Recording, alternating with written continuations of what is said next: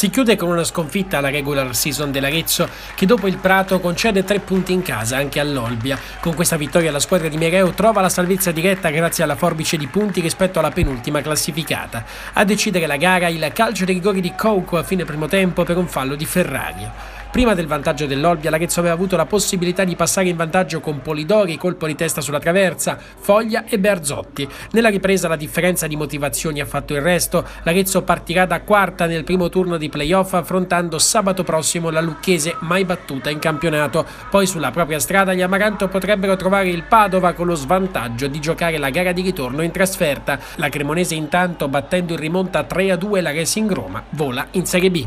Sarei preoccupato di più se fossimo stati a commentarla durante, durante una gara a spareggio.